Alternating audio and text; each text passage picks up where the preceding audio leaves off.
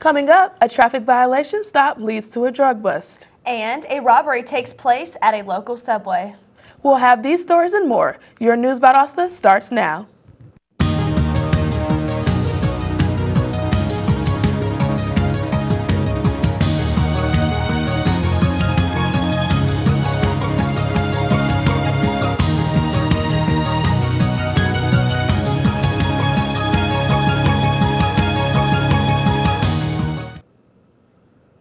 Welcome to News Valdosta. I'm Camille Pollitt. And I'm Robin Carter. The Valdosta Police Department has made yet another cocaine-related arrest.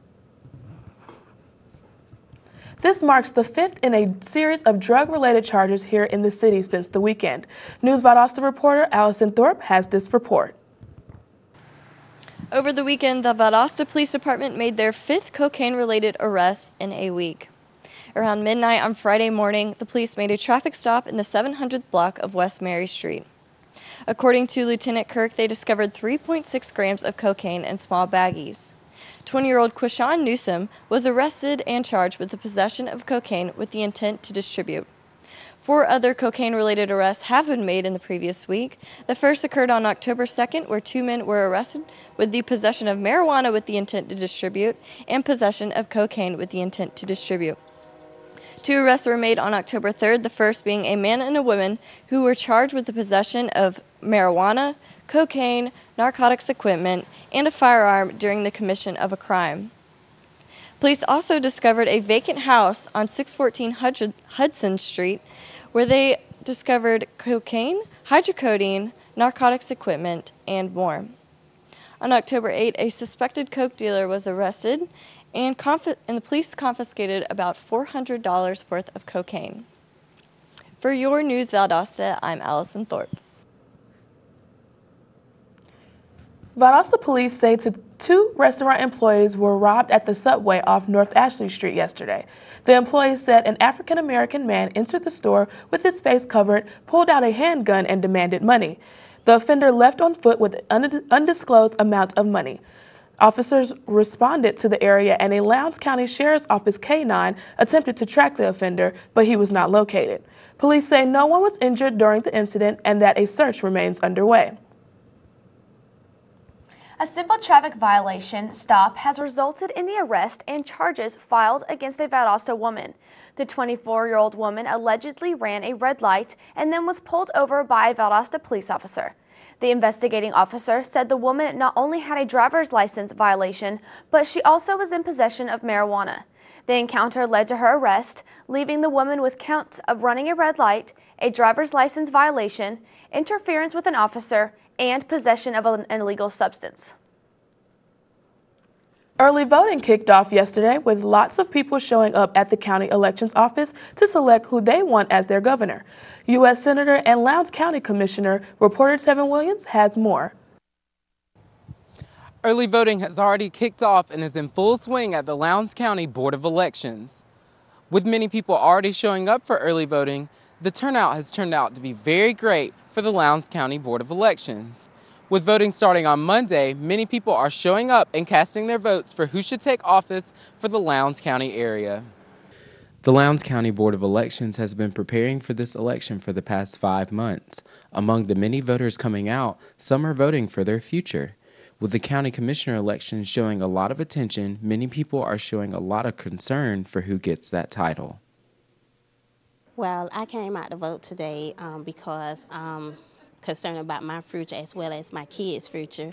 And I brought my son today to let him get an example how it goes and stuff and what can happen when you don't vote. I think it's very important that, you know, we vote. With many people participating in early voting, this election is showing a lot of prosper. Voters are allowed to vote all the way until the last day of October. And there you have it. Voting has kicked off this week with many in attendance. Voting is a serious American right that everyone in this country has and should definitely take advantage of it. If you have any questions, you may contact the Lowndes County Board of Elections about dates or voting times. With your News Valdosta, this is Tevin Williams. The Valdosta Regional Airport is one of nine airports in the state classified as a Level 3 airport. That means it impacts the region's economic output significantly. Last week, the Florida Department of Transportation's aviation disclosed that the Tallahassee airport has a total economic output of more than $399 million. In comparison, the Valdosta Regional Airport records $25.1 million in total economic output, which is proportionally just as strong. Researchers say Valdosta's airport is one of the biggest economic drivers in South Georgia. The Lowndes County Commission will meet at 5.30 this afternoon to reconsider a popular right-of-way. The county is looking to rezone 2.6 acres of land located near Madison Highway. Now it's having second thoughts. The county ruled on September 23rd that the right-of-way no longer served any kind of public purpose. A few other topics of discussion on the agenda include a look at county gas pump replacements and grant renewals. Coming up next, gas prices in Valdosta fall below the national average price. So stay with us.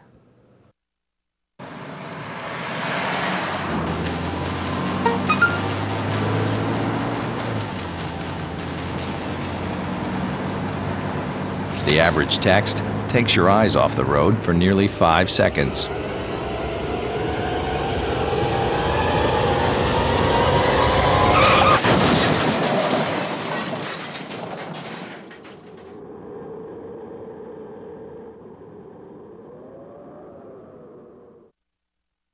Will you find at Valdosta State University? challenging academics, Innovative hands on experience. Over 100 fields of study. engagement in a vibrant community, Caring mentors and friends. Service and leadership opportunities. championship athletics The full university experience. at Valdosta State University. Welcome back to News Valdosta. Gas prices dropped over the weekend in Valdosta and Lowndes County, and that's good news for drivers. According to the American Automobile Association, last month the average price for a gallon of regular gas was $3.21. Since then, gas prices have fallen to $3.07 on Sunday and continued to decline. Today, gas prices remain at a low of $2.88. The Ebola outbreak in West Africa and the United States is leading to increased emphasis on safety precautions, and now that's the case in Lowndes County. The South Georgia Medical Center says it's using a newly developed Ebola screening tool as well as its medical campuses to screen all patients. The tool is available to members of the medical staff for use in offices and clinics. Symptoms of the virus include fever, skin rash, red eyes, and weakness. According to the Cancer Institute, rehabilitation and regular follow-up care are important parts of treatment for patients with head and neck injury. The South Georgia Medical Center is holding a head and neck support group for people who have been diagnosed with cancer of the head or neck. It is open to those who have completed treatment or are still active in treatment. The group meets on every Tuesday at 2 p.m. and will continue the rest of the year. To register, call South Georgia Medical Center. Now, the Hahira Honeybee Festival is over, but the memories linger on of the Parks and Recreation Authority's most popular event. Xavier Hall has this report. I'm up early this morning for the Dixie Cream Donut Dash in Hahira, an event hosted by the Valdosta Lowndes Parks and Recreation Authority. Let's see what this tasty sounding event is all about. Sponsored by Dixie Cream Donuts and the Valdosta Lowndes Parks and Recreation Authority, the Donut Dash and Century Ride is quickly becoming an energetic staple of the Hahira Honeybee Festival. The race started at 8:15 a.m. at North Lowndes Park and consisted of four different race routes. The most popular route was the 30 mile, which has a donut optional choice. There are also 15, 63, and 100 mile routes with rest stops placed evenly throughout. All the donut eating participants received a special sticker that lets the timekeepers know to take five minutes off of their race time. Jessica Catlett spoke to me about some of the health benefits of the Donut Dash. Even though we have incorporated donuts into the event, um, it is still a bike ride. So, of course, these riders are getting the benefits of the physical exercise being outside.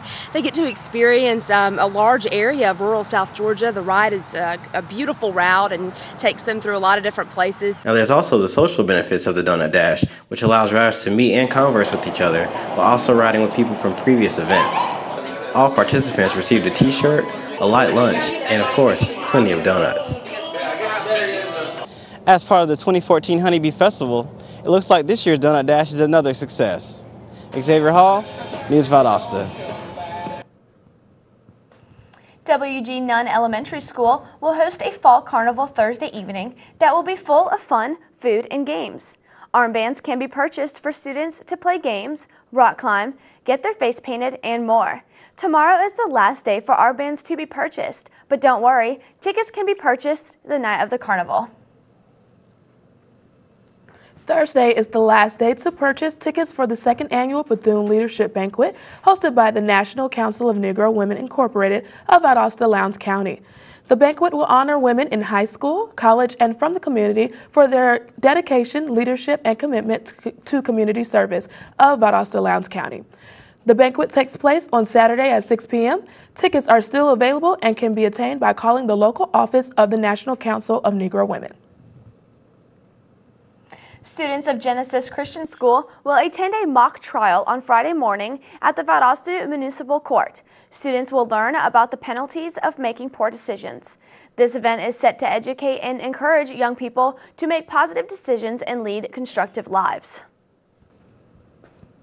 Up next, we'll take a look at local weather conditions with Brittany Williams, so stay with us.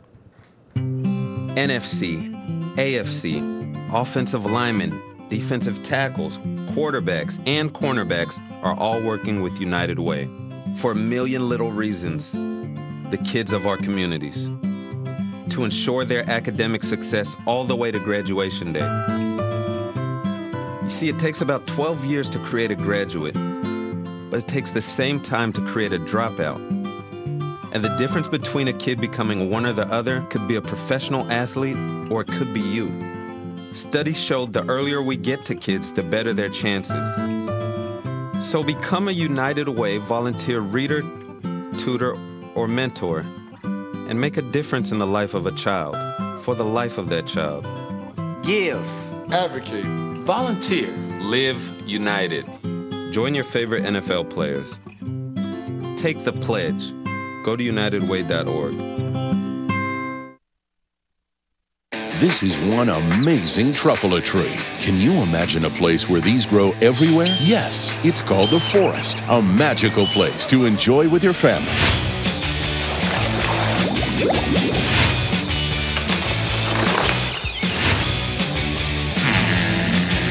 Ooh. So discover the forest and explore all the wonder that's there.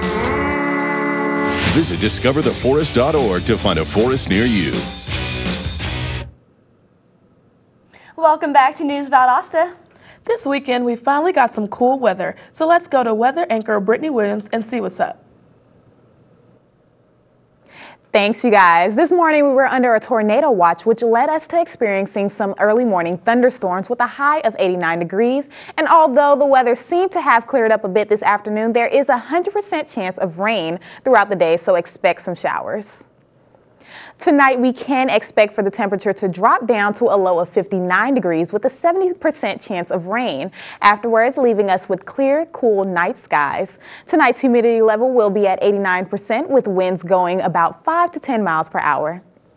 Tomorrow, we can look forward to a bright sunny sky with highs cooling off to 79 degrees. The humidity level will drop down to a low of 59% with winds going about 5 miles per hour.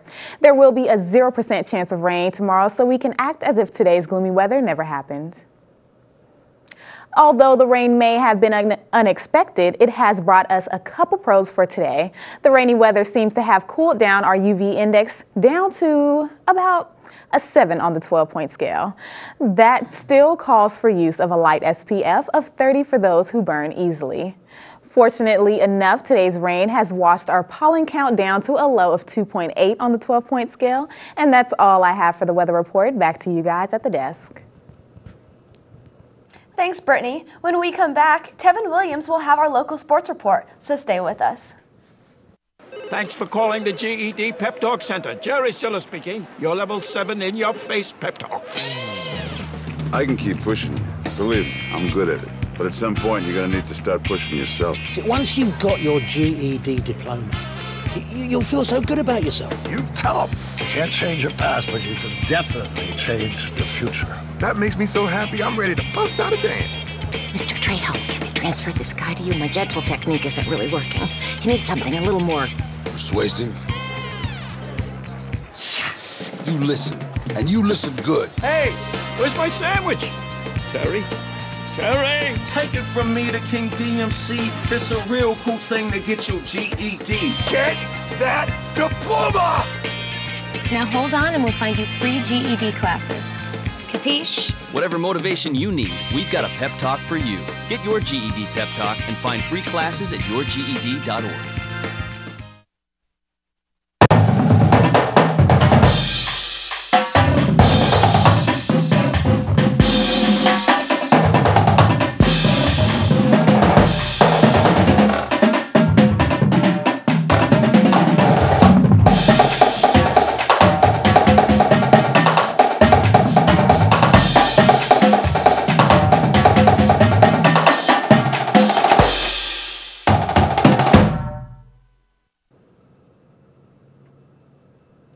Welcome back. Now let's go to Tevin Williams for our local sports. Tevin? Thank you, ladies. The Thomasville University women's golf team is hosting its last day of their invitational today. The invitational has been held at the Kinderlou Golf Course in Valdosta and has been going on since Sunday. The women's golf team has been doing well this season and hopes to continue their success today. With the last day of the Invitational being held today, the Lady Nighthawks are planning on continuing to strive for success today despite the weather. Moving on to more Thomas University sports, the men's soccer team will host the Johnson and Wales soccer team in Thomasville Wednesday. The men's soccer team will be playing the opponent at Wednesday at 3 p.m. in the afternoon. Hoping for a win, the men's soccer team has been doing extremely well this season with only one loss and two ties. The men's soccer team has been doing extremely well this season with all of their wins and is planning on continuing their success with their match on Wednesday. The Lowndes County Vikings football team will play Lee County this Friday and is showing that they are coming for a win. They have only one loss this season against Colquitt County and are planning on winning and are planning on winning against Lee County this Friday. The game will be played at 7 at night at Lee County in Leesburg. Let's show the Lee County Trojans how we do it in Titletown people by showing our support. And finally in sports, our Valdosta State University Blazers did in fact show up and show out this weekend with a 40-6 win over the University of West Georgia Wolves. The West Georgia Wolves were undefeated all season until the Blazers put a smackdown on the team this past Saturday. The Blazers started off the game a little bit slow, but came through in the end. And that is all I have for everyone in sports today. I will see all of you on Thursday. Now back to you ladies at the news desk. Thanks, Tevin. Want to learn about the sweet side of chemistry? That's coming up next.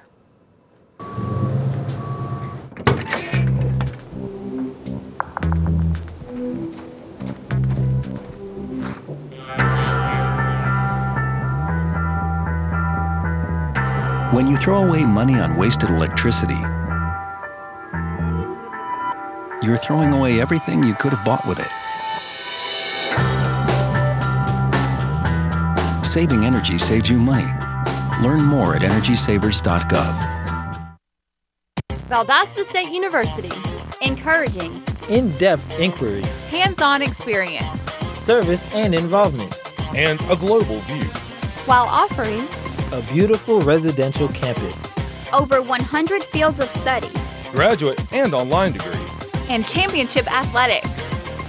All in a warm and friendly community. Get connected and involved. Do more, become more. Valdosta State University. Welcome back to News Valdosta. Science Saturdays is a program exploring all aspects of math, science, and engineering. The College of Arts and Sciences and the Department of Chemistry at Valdosta State presents Science Saturdays at Bailey Science Center. The sweet side of chemistry will include activities such as exploding gummy bears, the chemistry of cotton candy, the construction of edible molecules, and a candy volcano. This will be held this Saturday from 9 until noon. Although this is targeted towards middle grade students, this event is free and open to the public. Valdosta State University's Music Scholarship Alliance will host Pops in the Park from 6 to 8 o'clock Thursday night. This event will feature performances including VSU's Street Drum Band, directed by Paul Campiglia, and the new Jazz Ensemble, directed by Dr. Joran Kane, and many more. Proceeds from Pops in the Park will benefit scholarships for students studying in the Department of Music at VSU. To purchase tickets or make a table reservation, you can call the College of the Arts Outreach Office. Tickets will also be available at the door. General admission tickets are $15 for adults, $8 for students and senior citizens, and free for children ages 12 and under. That's it for our program today. Thanks for watching News Valdosta. I'm Robin Carter. And I'm Camille Pollitt. We'll see you again tomorrow.